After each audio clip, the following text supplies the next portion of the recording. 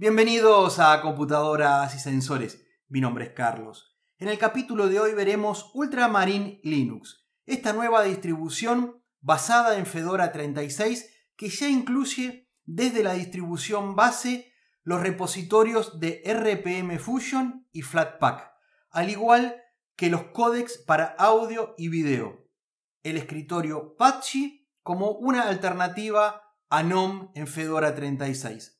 Veremos si realmente esta distribución es superior aún a Fedora 36.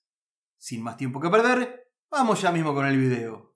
Desde Fedora 36 nos dirigimos a la web oficial en ultramarine-linux.org y nos dice que es una distribución basada en Fedora, fácil de usar y estable, que todas las configuraciones comunes ya vienen instaladas para tener una experiencia positiva desde el primer arranque. En mi caso utilizo Fedora desde hace un tiempo y la edición 36 hace poco revisada en el canal me gustó mucho. Entre las cosas que se podían mejorar, dijimos que varios repositorios son necesarios instalarlos manualmente, como el imprescindible RPM Fusion, el muy recomendable Flatpak, algunas extensiones y códecs. Fedora es una distribución excelente, pero es cierto que necesita algo de trabajo posterior. Ultramarine promete lo bueno de Fedora con todo el trabajo posterior ya incluido, con un escritorio algo más convencional que NOM 42. Desde hace un tiempo dispongo de esta unidad de estado sólido Gigabytes de 240 GB que hoy me dispongo a utilizar por primera vez. Lo monté a un adaptador de 2,5 a 3,5 pulgadas para poder fijarlo en la computadora de pruebas y así tener Fedora 36 en un SSD y Ultramarine en otro separado. Siempre los tests los hago sobre máquina real y la captura de video en otra computadora para que las pruebas se ajusten a la realidad lo más posible. Volviendo a Fedora 36, por supuesto tú lo puedes hacer desde cualquier computadora o sistema operativo, hacemos clic en Download y podemos seleccionar entre distintos escritorios. Butchie, que es el recomendado y más pulido, Nom, que ya lo hemos probado bastante en videos anteriores, Pantheon o Cutefish, que aún se encuentra en desarrollo y es recomendado para usuarios avanzados. Nosotros descargaremos Ultramarine con el escritorio Butchie, haciendo clic en Flagship Edition. Una vez finalizada la descarga, tenemos que flashear la imagen ISO en una memoria o pendrive. En la mayoría de videos anteriores utilizamos Balena Etcher, quien es completamente recomendable, pero en esta oportunidad, ya que me encuentro en Fedora 36, voy a ingresar a aplicaciones y seleccionar Fedora Media Writer. En la ventana que se nos abre, seleccionamos Select ISO File y damos en siguiente. Luego indicamos la ubicación del archivo ISO, en mi caso descargas del directorio personal, y clic en seleccionar.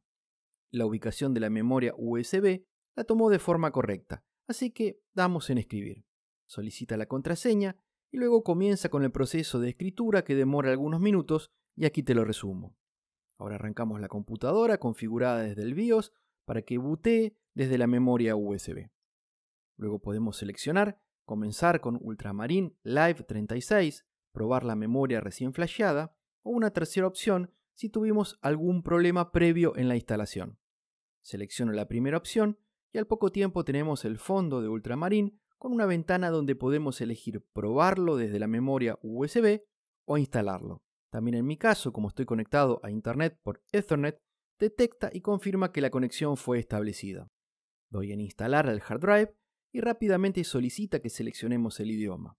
En mi caso detectó automáticamente español Argentina y doy en continuar. Tenemos que configurar el destino de la instalación y ajustes de usuario. Comienzo con el destino de la instalación y en la nueva ventana tenemos la posibilidad de hacer una configuración automática o personalizado. Dado que mi unidad SSD es nueva y solo se instalará Ultramarine, lo dejo en automática. La opción de cifrado no la selecciono ya que es una computadora de escritorio. Doy en hecho y selecciono creación de usuario. Carlos para nombre completo y de usuario para finalizar con la contraseña. Doy en hecho y en la ventana de resumen de la instalación, clic en comenzar la instalación. El proceso de copiado al disco demora varios minutos y aquí te lo resumo. Una vez finalizado, quitamos la memoria USB y reiniciamos el equipo desde el icono correspondiente en la parte inferior derecha del panel. Al reiniciar nos aparece Grub y nos muestra la versión de kernel que es la 5.17.7. Ya sabemos que contamos con un kernel muy actual. Luego ingresamos la contraseña y accedemos al escritorio de Batchy. Hago clic en no mostrar más el mensaje de se ha establecido la conexión a Internet. La recomendación de siempre es actualizar nuestro sistema. La forma más fácil es ingresando por el lanzador de aplicaciones, herramientas del sistema y software. Luego se descarga el catálogo de software. Unos segundos después se abre la tienda de aplicaciones o la aplicación de software de NOM, mejor dicho. Es casi exactamente igual a Fedora, y digo casi porque aquí disponemos de la línea y el cuadrado para minimizar y maximizar ventanas que en Fedora teníamos que instalar tweaks o retoques para tenerlo. En la pestaña Actualizaciones nos figuran en total 23, entre actualizaciones del sistema y aplicaciones. Dando clic en Descargar, podríamos comenzar con el proceso de actualización, y está perfecto si quieres hacerlo de ese modo, pero en mi caso prefiero hacerlo desde la terminal. Ingresando por el lanzador de aplicaciones, utilidades y luego terminal. Escribimos sudo dnf update y nos indica que tenemos 5 paquetes por instalar y 223 para actualizar, y que el tamaño de la descarga es de 643 MB. Al menos la primera actualización la prefiero hacer desde la terminal, ya que puedo ir viendo los elementos que descarga e instala, además de saber en todo momento el ETA o tiempo estimado de finalización.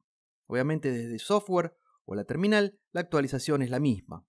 Vemos durante la descarga que nos actualiza el ya moderno kernel 5.17.7 al 5.17.12.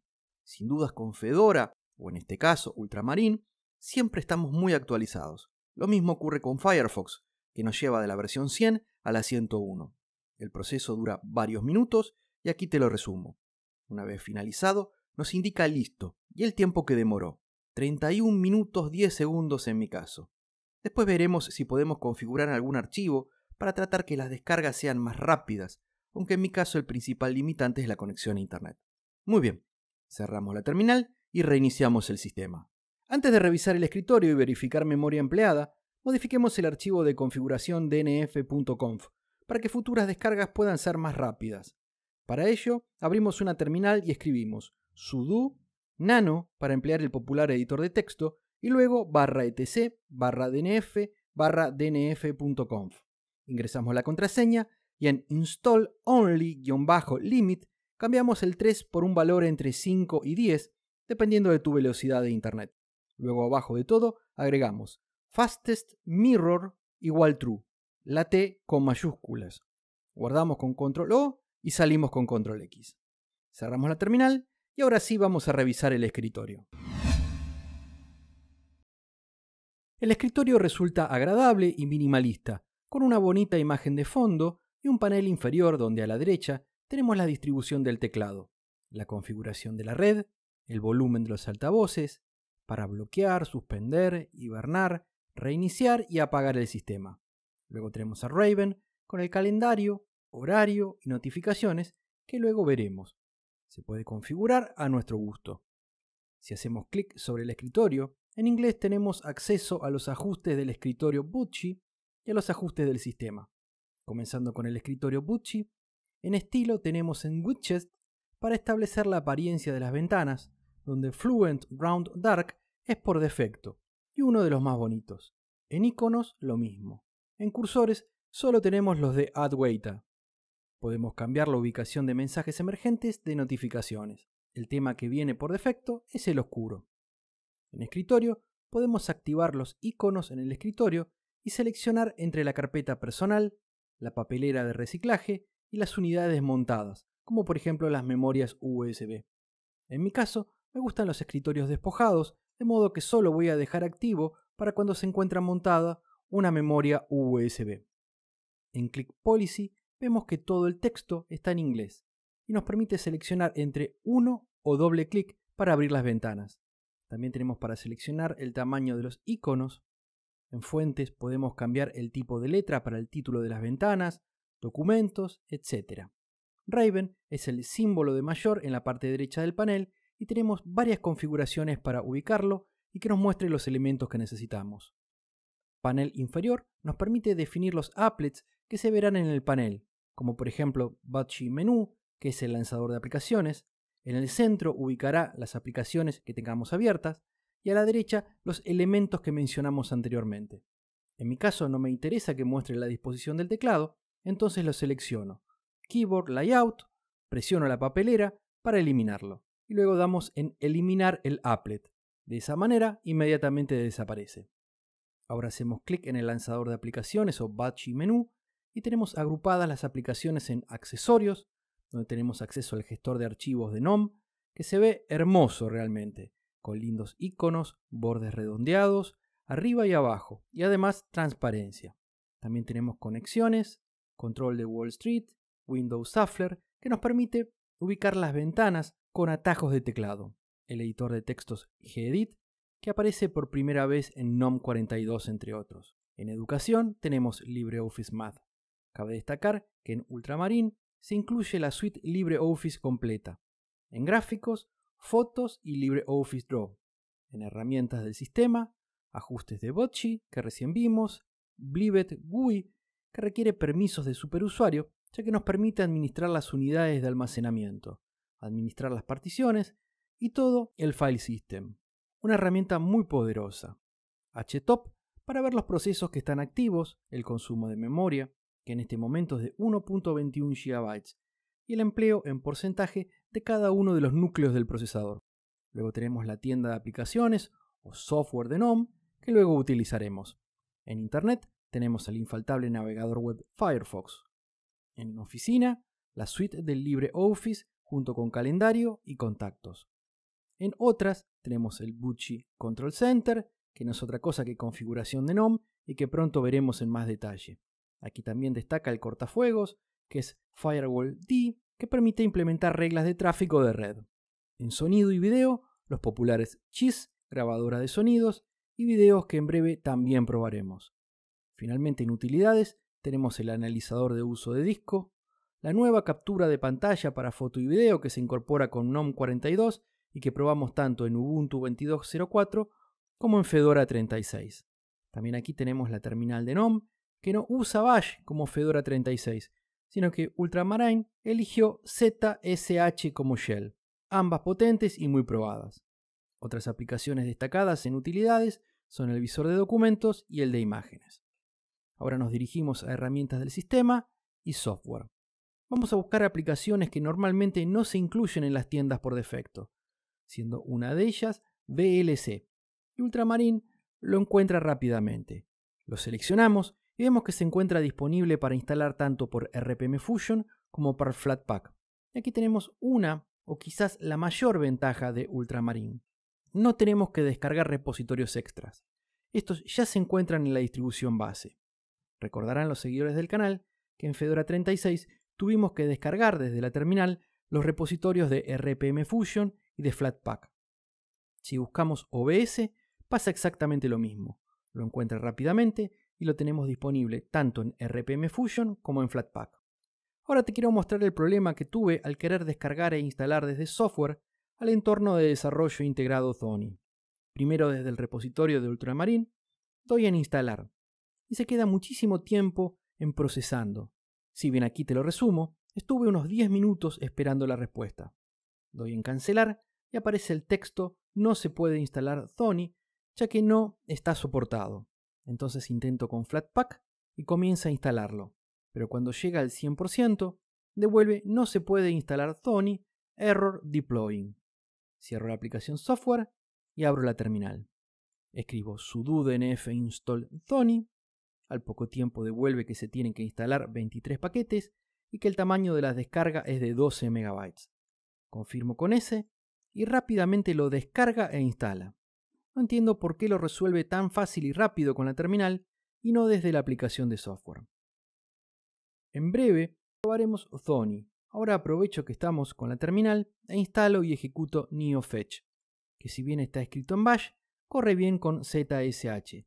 Y nos confirma que estamos con el kernel actualizado a 5.17.12, lanzado 5 días antes de la realización de este video, 1765 paquetes RPM y 3 Flatpak. El shell, que es ZSH, en su versión 5.8.1. La versión del escritorio Butchie 10.5.3 y un empleo de considerables 1572 MB de memoria RAM. Ahora vamos a probar. Thony se instaló correctamente. Lo escribo en el buscador, Doy clic en él, selecciono idioma español y doy en Let's Go. Y Thony funciona correctamente. Lo siguiente que quiero mostrarte es ingresando archivos y luego videos. Previamente copié un video en el formato MOV, que es un contenedor de QuickTime, y perteneciente a la compañía Apple, que no es software libre, y suele darnos problemas tanto en Ubuntu como en Fedora 36. Y la solución que normalmente usamos es instalar VLC, que reproduce prácticamente todo. Pero con Ultramarine, como dijimos anteriormente, incluye en la instalación base los códecs de audio y video que normalmente se utilizan. De modo que con solo ejecutar el archivo MOV lo reproduce con el visor de videos incluido sin ningún problema y de forma fluida. Insisto en que la gran ventaja de Ultramarine es justamente esto, repositorios y códecs instalados por defecto. Sin dudas, Canonical con Ubuntu o Red Hat con Fedora no los incluye por cuestiones legales. Nos quedó pendiente ver lo que haciendo clic con el botón derecho del mouse en el escritorio se llama System Settings o desde el Batchy menú se llama Batchy Control Center y en Fedora conocemos como configuración de NOM, todos son lo mismo. Tenemos en red el tipo de conexión a Internet al igual que la VPN y proxy de red. Podemos activar el Bluetooth y en fondo solo tenemos cuatro disponibles, y estos no cambian según el tema sea claro u oscuro. Por supuesto podemos descargar fondos desde sitios web donde hay infinidad para elegir. Luego notificaciones, donde podemos seleccionar cuáles aplicaciones queremos que el sistema nos notifique. En multitarea tenemos para activar bordes de la pantalla y permite que cuando acercamos una ventana a un vértice de la pantalla, la ventana que estamos moviendo se maximice a pantalla completa. Aquí te lo muestro con la ventana de la terminal. También podemos configurar el uso de multipantalla. Podemos configurar el comportamiento de las aplicaciones, como por ejemplo las notificaciones, privacidad, cuentas en línea, compartir, sonido. En energía podemos seleccionar ahorro de energía si trabajas con un portátil. El tiempo antes de que se apague la pantalla pudiendo ser entre un minuto y 15, o que no se apague nunca. La configuración de pantalla tanto en orientación como resolución y tasa de refresco y nuevamente el retardo para apagarla. Tenemos para configurar el mouse y pantalla táctil, el teclado e impresoras. En aplicaciones predeterminadas podemos cambiar cuáles queremos que se ejecuten por defecto para navegar por la web, correo, calendario, música, video y fotos. En acerca de tenemos la información del sistema, donde vemos que se trata de mi computadora de pruebas con un Intel i5 3470, 4 núcleos a 3,20 GHz, con 8 GB de memoria RAM. La unidad de estado sólido de 240 GB que vimos al comienzo del video y las especificaciones de la distribución que ya revisamos. Vamos a darle ahora una mirada al navegador web Firefox. Nos dirigimos al Batchy menú, Internet y luego Firefox. Abre muy rápidamente y nos da la opción de habilitar la protección contra cookies. Por el momento no lo habilito porque en las anteriores revisiones no lo usamos, aunque es interesante. Nos abre la página de inicio con la documentación de Fedora y vemos que el equipo de kernel está trabajando para la integración del kernel 5.18. Muy impresionante como Fedora, y por supuesto Ultramarine, proveen las últimas versiones de kernel y software en general, siempre probándolo con anterioridad. Nos dirigimos al video habitual de pruebas de la Fundación Blender, Big Buck Bunny, y cambiamos la resolución a 1080p 60 cuadros por segundo. Pantalla completa y la reproducción es muy buena. Clic derecho y seleccionamos estadísticas. Tenemos una mínima caída de frames que no se aprecian en la reproducción, y la calidad es la que nos tiene acostumbrados Firefox. En este apartado, ninguna diferencia con Fedora 36. A modo de conclusión, podemos decir que Ultramarine Linux, con el escritorio Batchy, es una buena opción frente a dos escenarios. Si quieres un sistema al que no tengas que preocuparte por agregar manualmente repositorios imprescindibles como RPM Fusion o necesarios como Flatpak, que incluye los códecs de audio y video para reproducir archivos tan usuales como MOV o QuickTime, y el segundo escenario es para quienes no gustan del escritorio NOM o por alguna razón necesitan como gestor de ventanas a X11. Aunque claro que Fedora también dispone de estas alternativas. En mi opinión, esto es algo completamente basado en mi costumbre y con mi hardware, prefiero Fedora 36 con NOM 42. Siento que en Fedora todo fluye mejor, es un escritorio más rápido desde el arranque mismo. Usando el mismo hardware, Fedora 36 abre casi inmediatamente, mientras que Ultramarine demora bastante. Luego de la actualización al kernel 5.17.12, el tiempo exacto que demora en iniciar desde que salimos de Grab hasta que nos pide loguearnos es 2 minutos 9 segundos. Mucho tiempo en comparación a Fedora 36, que son solo un par de segundos. En definitiva, en lo personal no tengo problemas en tener que instalar algunos repositorios, códex y extensiones para Fedora 36. Y el escritorio en modo oscuro con Dash to Dock me gusta. El gestor de ventanas Wayland es superior a X11. Alguien dijo que Ultramarine es a Fedora como Mint es a Ubuntu. Y la verdad es que si bien elijo Mint, no ocurre lo mismo con Ultramarine. Sigo prefiriendo Fedora. Y con esto terminamos el video de hoy. Espero que el video haya sido de tu agrado. De ser así, danos tu like, suscríbete compartilo, que seguiremos haciendo proyectos con nuestras computadoras, Raspberries y microcontroladores. De mi parte, muchísimas gracias por ver el video y será hasta la próxima.